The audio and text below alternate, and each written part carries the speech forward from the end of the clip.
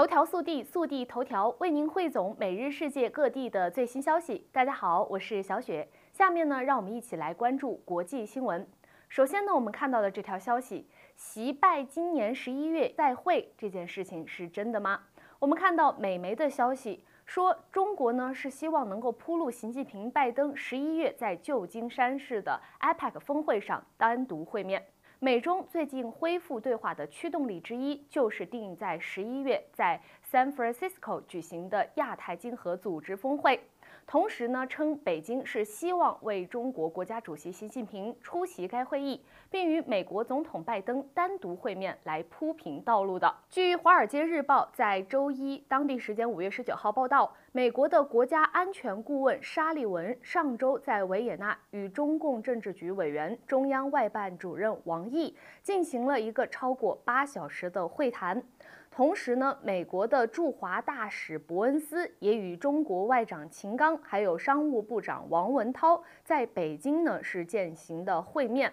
报道引述中国的国际关系教授的分析称，上周的会晤对于打破过去几个月的僵局是非常重要的。同时，他表示，美中都希望能够稳定两国的关系，双方都不希望关系继续的恶化。问题是如何做到这一点？截至目前，北京在气球事件后一直搁置了美国国务卿布林肯访华事宜的重新安排。那么报道呢？引述一位美国的官员就说，关于重新安排的布林肯访华的行程可能何时成型，沙利文和王毅没有讨论具体的日期。另外，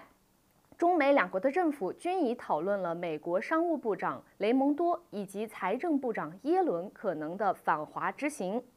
拜登早前是告诉记者称，在安排与习近平对话方面已经取得了进展，但没有透露两人何时可能对话。而这两位领导人上一次会晤要追溯到去年的十一月份。在印尼的巴厘岛的二十国集团，也就是 G20 的主要经济体峰会前，是他们上一次会面。这边我们说的好像是习拜会有可能了。那接下来我们要看到这条消息呢，对于中美之间的关系来说，不算是什么特别好的消息。我们看到中国方面呢是取消了八十三点二万吨的美国玉米的订单，而另外呢有消息称会去转到巴西方面的订单。而与此同时，拜登呢在证实，他今天会再与共和党的领袖来商讨美国的债务上限的问题。中国买家在过去三周已取消涉及八十三点二万吨的美国玉米订单，未来还可能会取消更多，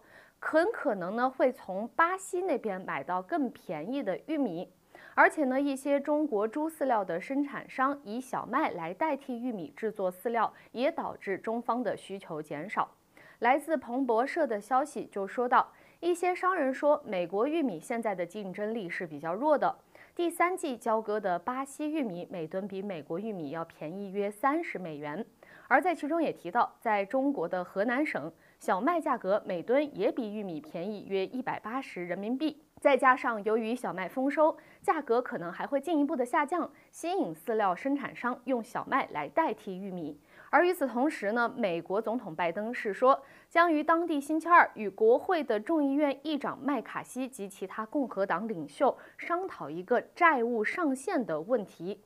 本月九号，拜登就与国会两党领袖就美国的债务上限问题举行会谈，但当时是没能打破僵局的。不过，在刚刚过去的周日，拜登表示对提高债务上限的谈判还是持一个乐观的态度，不会因此推迟前往日本广岛出席七国集团峰会的行程。而麦卡锡方面则说到，分歧仍然很大，又认为白宫方面也是仍然想要达成协议的。对此呢，美国的财长耶伦是多次警告，如果政府与国会不能就提高债务上限达成协议，那么可能最快在下月一号就会出现债务违约。美国这方面呢，还面临着债务违约的这个风险。而与此同时，我们看到的是，中方呢最近也是不断的有很多动作。习近平呢是说中非是比以往更需要加强团结合作。与此同时，我们看到的画面上的王毅还有秦刚呢，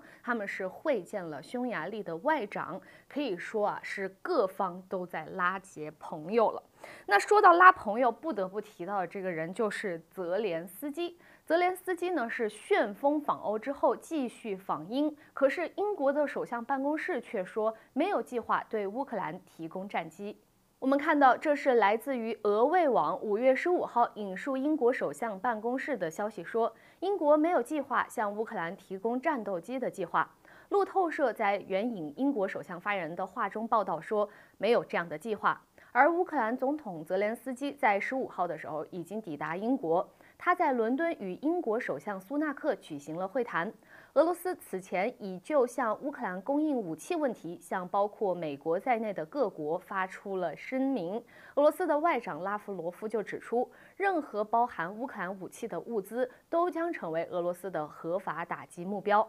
泽连斯基于过去几日旋风式地访问了意大利、梵蒂冈、德国以及法国，为外界预期会是乌克兰将发动的大规模反攻来争取军事及财政等方面的支持。而最近呢，发生在世界上很多地方啊，都是一个选举的状态，无论是泰国，还有我们现在看到的土耳其。土耳其的选举委员会称，在五月二十八号会是他们的最终决选。土耳其最高选举委员会在五月十五号确认，总统选举第二轮投票将会在五月二十八号举行。争取连任的总统鄂尔多安会与共和人民党的领袖克雷奇达尔奥卢当天呢是进行决胜。俄卫网十五号的消息就称，土耳其的最高选举委员会主席耶内尔在记者会上表示，由于没有任何的总统候选人在十四日的首轮投票中获得了百分之五十或以上的选票，因此委员会决定在二十八号举行总统选举的第二轮投票。这也是土耳其史上首次总统选举的第二轮投票。耶纳尔指，截至到当地时间十五号下午三点十五分。鄂尔多安的得票率是百分之四十九点五一，而克雷齐达尔奥卢的得票率是百分之四十四点八八，是非常焦灼的。而土耳其境内票站的点票工作已经全部完成，剩下的约三点五万张将会由选民在国外投下的选票尚未被点算。目前呢，只能等到五月二十八日才是他们最终选出土耳其总统的时间了。最后啊，我们关注到的这条消息跟科技和商业相关。其实，如果玩游戏的朋友们，其实对暴雪这家公司不会很陌生。那么现在呢，欧盟是批准微软公司以六百九十亿美元来收购暴雪。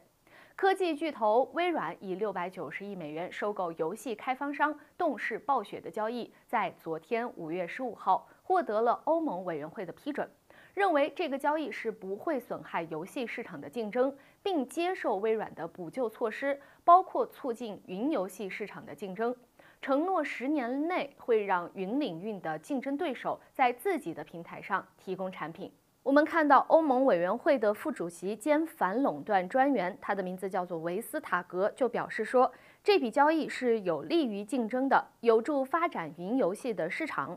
不过，这笔交易到底能否成功，其实还是存在变数的。英国的竞争和市场管理局已在上月的时候提出了反对，而微软呢，则对他们的反对表示要继续提出上诉。裁决预计需要数月的时间。美国的联邦贸易委员会也是在寻求要阻止交易，因此微软到底能不能成功收购暴雪，还是一个未知数。不过看起来目前欧盟是已经批准了。既然说到了这些文娱产业还有经济方面，我们也是为大家插播一条消息，来自香港迪士尼乐园，说到他们呢是连续八年一直在亏损，于是他们从下个月中起呢，每周会营运六或七天。那么香港迪士尼乐园在上个财政年度净亏损了二十一亿元。按年收窄呢，来到了百分之一十二，是连续第八年录得亏损。因此，他们就已经宣布，从下个月，也就是六月中旬起，